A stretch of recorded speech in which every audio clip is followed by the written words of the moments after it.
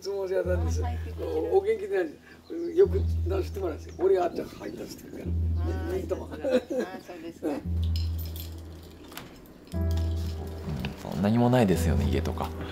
なった時に、ね、一番初めに探すのって家族のアルバムなんですって。それがないとその今までの人生がこうずっとなくなったような確認する手段がないからなんか宙に浮いたような感じがするってそんなようなことを言われました。ね逆に写真が帰るとこれで自分の人生取り戻したような気がするって